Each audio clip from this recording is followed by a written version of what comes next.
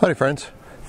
Just a real quick video going for a bit of a hike in the woods. Thought I'd take you along with me this time and uh, show you some kind of different levels of succession in the forest, what one stage will look like compared to another. Because uh, it's amazing, isn't it? Uh, forests affect us all so dramatically every single day of our lives, don't they?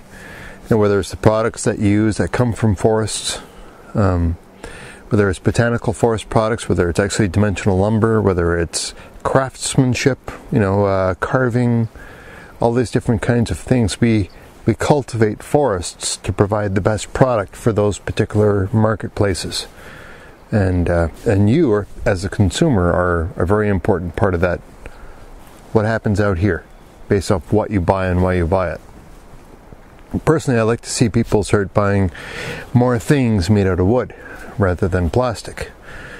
Simply because um, carbon sinks and all that different kind of stuff. You know, this is a renewable resource that, that human beings have grown the brain capacity to try and manage, and yet we're still buying everything made out of plastic.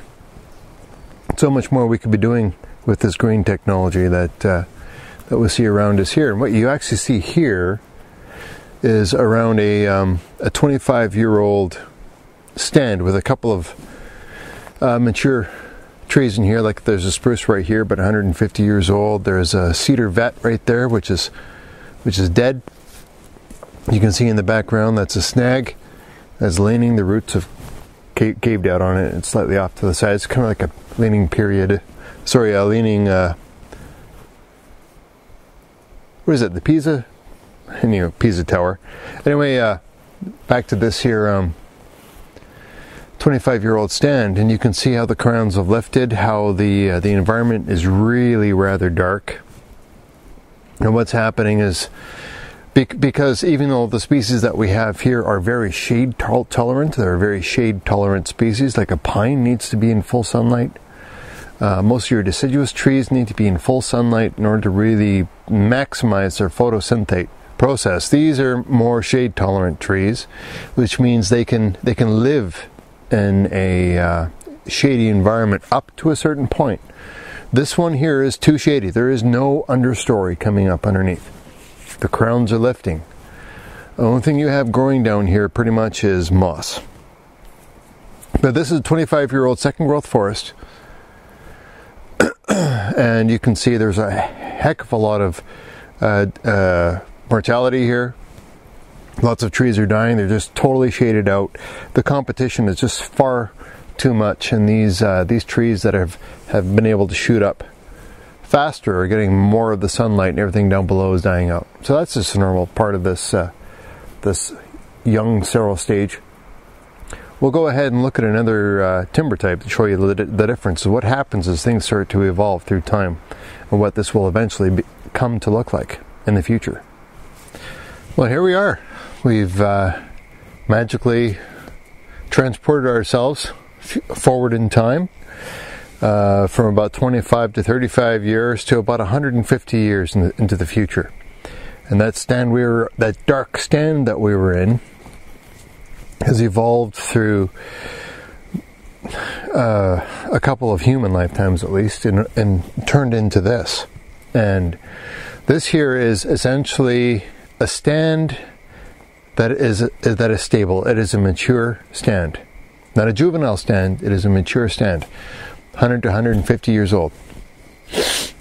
And um, and so what you see here is is a forest that is essentially all of the uh, all of the trees that uh, that died because of being shaded out or because of root rots um, all kinds of different fungal pathogens that exist in a forest.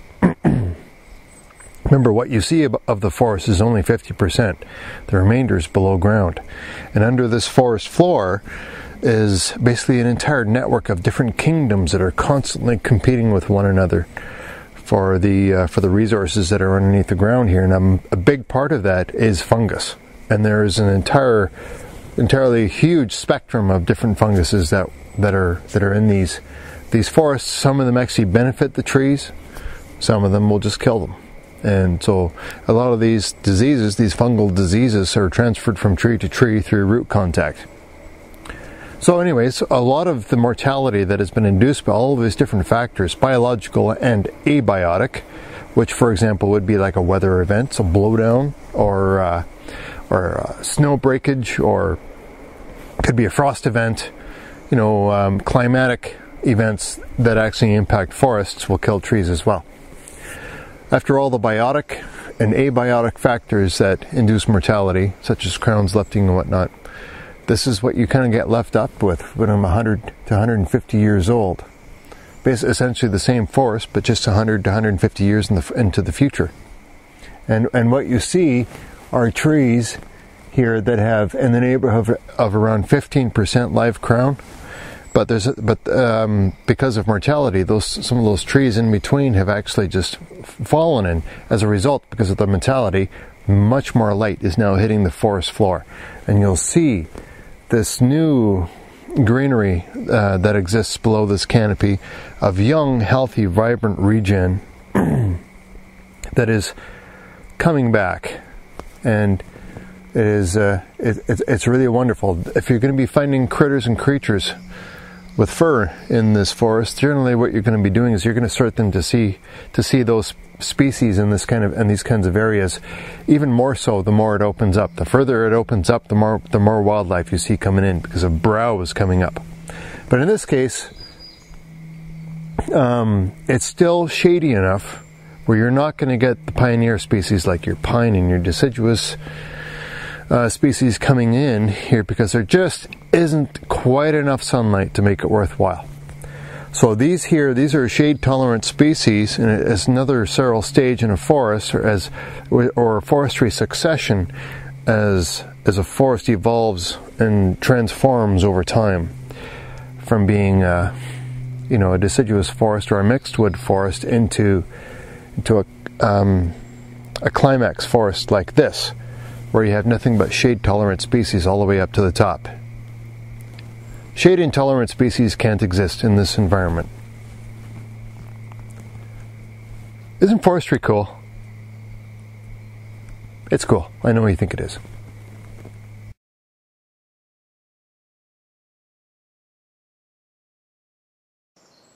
Hemlock, spruce, cedar forest, and here we have a tree I thought you guys might be interested in.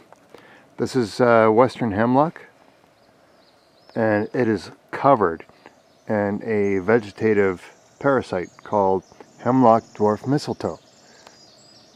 And if you look at these branches here, you'll see that there are some swellings. Let's look at this one here.